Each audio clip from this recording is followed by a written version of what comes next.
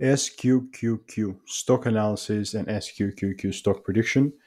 ProShares, ultra pro short QQQ stock. Uh, is it a buy right now? Like, let's watch this.